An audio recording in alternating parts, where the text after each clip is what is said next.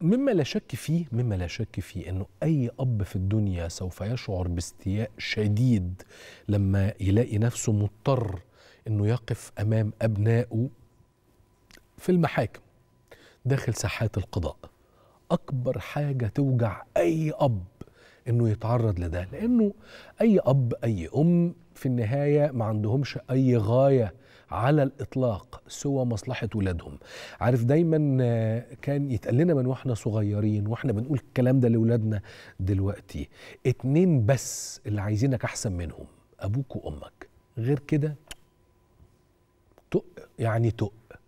اللي عايزينك بمنتهى الإخلاص أحسن منهم أبوك وأمك. فتجد نفسك فعلا متألم بشدة لما تشوف يمكن الواقعة الشهيرة والحدوتة الشهيرة اللي يمكن قتلت حديثا من شهور ماضية اللي تعرض لها الفنان الكبير الرائع العظيم المحترم الأستاذ رشوان توفيق. ناس كتير استغربت ناس كتير استاءت ناس كتير بالتأكيد تعاطفت بشدة وبقوة وبمنتهى الإخلاص مع الأستاذ رشوان في أزمته. وتجد النهاردة أنه حصل رفض لدعوة ابنة الفنان الكبير رشوان توفيق بل وإلزامها برد مبلغ 894 ألف جنيه. خلونا ناخد معانا على التليفون للمزيد من الإيضاح والفهم الدكتور مجدي مهران محامي الفنان الكبير الأستاذ رشوان توفيق. أهلا بيك يا دكتور مجدي. أهلا بحضرتك. أهلا بحضرتك يا دكتور. عايزين نفهم معنى هذا الرفض يعني رفض دعوة ابنة الفنان رشوان توفيق ورد مبلغ ال 894 هو حضرتك آه، آه، سبق أن أقامت الأستاذة آية رشوان توفيق دعواها آه، اللي هي صدر الحكم فيها ضد والدها الفنان القدير رشوان توفيق بتطالب فيها بإلغاء توكيلين كانت قد أصدرتهما.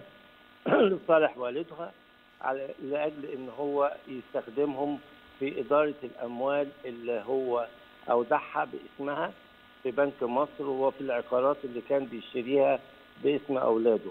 عظيم هو الحقيقة كان تعود الفنان القدير رشوان توفيق حبا في أولاده إنه دايما منذ فترة طويلة انه كل ما يكتسب أموال أو يدخرها كان يفهمها يودعها بأسماء أولاده و- أو زوجته الله الله يرحمها. يرحمها أو ابنه آه، توفيق الله يرحمه. وبعدين بمرور الأيام آه، هو كان آه، اشترى ثلاث شهادات استثمار بالمبلغ اللي محكوم بيه اللي هو 894 باسم ابنته آية على أن تؤول هذه الأموال لابنته بعد حياته وهو يستفيد من العائد الشهري ليكمل بيه حياته في آه، العمر ال- اللي إحنا بنقول عليه العمر الطويل. ربنا يديله يا عمر رب. طويل آمين. في سن التسعين. هو فوجئ بها قامت بإلغاء حق ال- العائد الشهري من الشهادات دي اللي هي مدفوعة بأمواله الخاصة وتحت إطار هذا الموضوع راحت سبق وأقامت الدعوة بإلغاء التوكيلات دي. الحقيقة التو... الدعوة دي هي تداولت في ال- في المحكمة وإحنا باعتباري إن أنا الوكيل عن الفنان القدير كنت قد كلفت بالحضور أمام المحاكم للدفاع عنه. للدفاع عنه بناء على تكليف من ابنته للحضور والوصول أمام القضاء.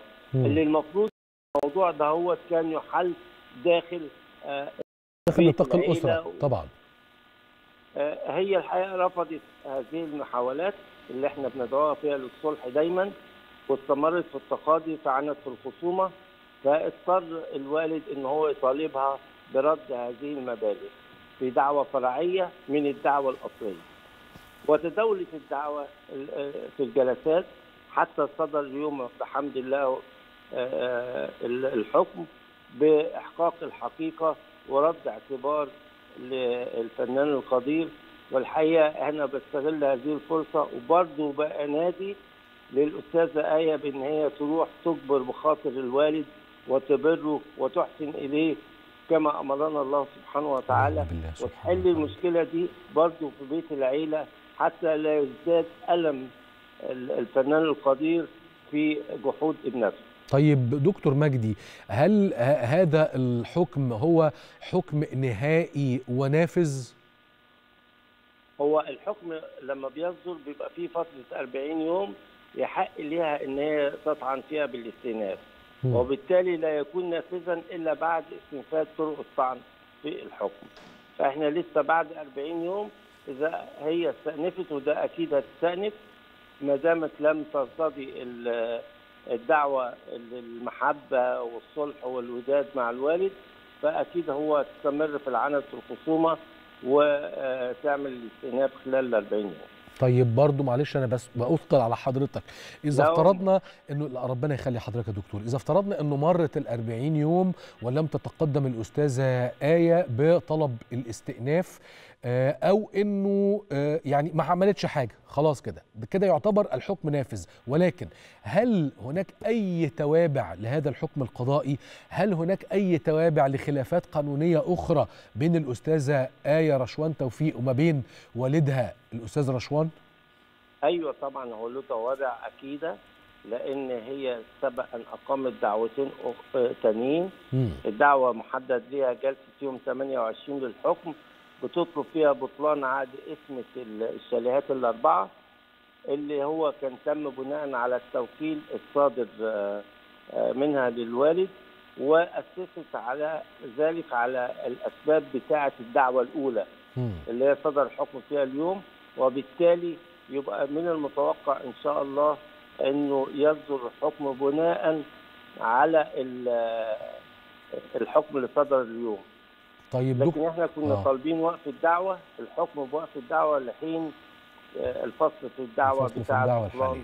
عقود التوكيلات طب دكتور مجدي هل يعني يقوم الدكتور مجدي آه، آه، مهران يعني عارف انه حضرتك تقدمت دلوقتي بمناشدة واضحة علنية لرأب هذا الصدع وتهدئة هذا الخلاف وبر الوالد الأستاذ رشوان لكن هل قمت باتصال مباشر مع الأستاذة آية بعد صدور رفض الدعوة بضرورة إنه بقية المصالحة تتم في إطار المحيط الأسري والعائلي؟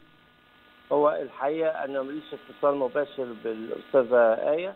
ولكن أنا اتصالي بها عبر ال- القنوات ال- ال- التلفزيونية دعيتها برضه لل- للعودة للوفاق والصلح مع الوالد رغم صدور الحكم ورغم إن إحنا سبق إن إحنا ناديناها من أول جلسة حتى الأخيرة بندعوها للصلح مع الوالد. طيب أخيرا برضو إحنا مهم عندنا نطمئن على صحة الأستاذ رشوان باعتبار إن حضرتك أكيد على اتصال دائم ومستمر ولصيق بيه. الحمد لله صحته كويسة وهو بيتمتع ب- ب- شفية من المرض بتاع الكورونا وأصبح في حالة جيدة. ونسأل الله له الصحة والعافية وطولة العمر بإذن الله. اللهم آمين. اللهم أمد له في عمره وبارك له فيه. أشكرك جدا جدا دكتور مجدي مهران محامي الفنان الكبير.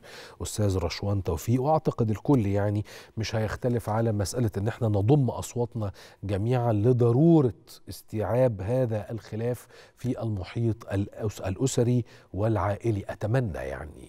بيبقى برضه صعب قوي إن تلاقي خلافات أسرية ما بين الأهل وبعضهم تصل إلى المحاكم ثم تصل أيضا إلى صفحات الجرائد المواقع البرامج مسألة مش لطيفة على الإطلاق على الإطلاق.